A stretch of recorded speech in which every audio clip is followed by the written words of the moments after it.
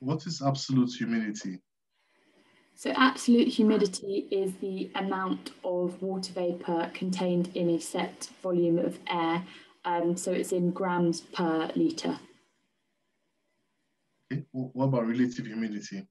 So relative humidity is a um, percentage. So it's the amount of uh, water vapour contained in a sample compared to the amount of water vapour that sample can hold if fully saturated. What about absolute zero? So absolute zero is um, a point in the scale where it cannot get any colder. Um, so it is at, um, I've forgotten what temperature is that. Very cold. Very cold. All right. Um, what is one Kelvin? So one Kelvin is a one over 273.16 of the triple point, triple point of water. Um, it's a measure of temperature and it's the SI unit for temperature measurement. What about boiling point? So boiling point is the um, temperature at which the um, saturated vapor pressure of a, a liquid uh, equals atmospheric pressure. Um, it is when the molecules within a liquid have gained enough energy to move into their gas or vapor phase my personal favorite. One, what is candela?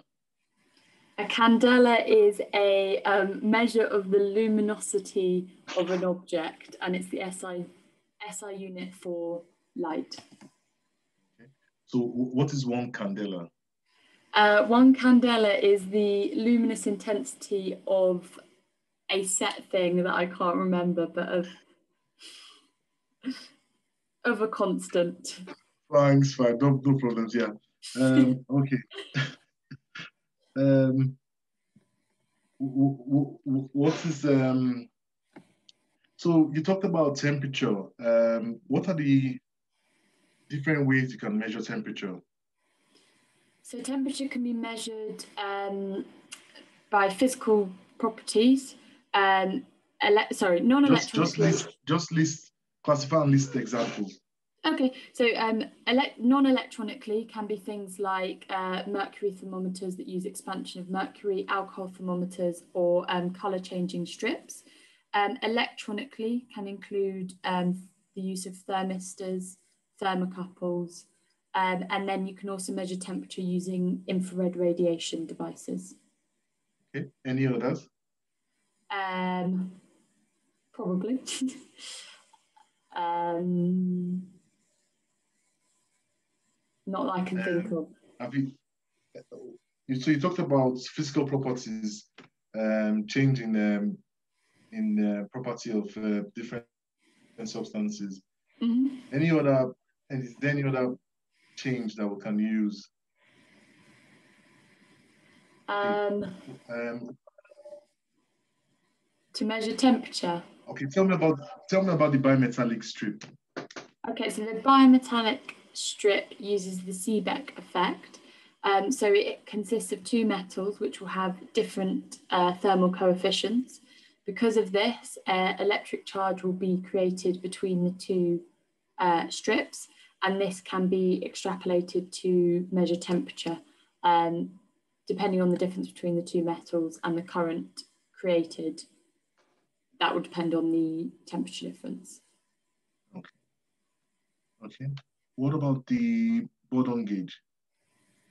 So the Bourdon gauge um, uses a well uses the perfect gas laws so that as um, there is a fixed volume of gas, as this is heated, this expands and this expansion pushes a pointer across a scale, um, indicating the temperature change from within the, the coil.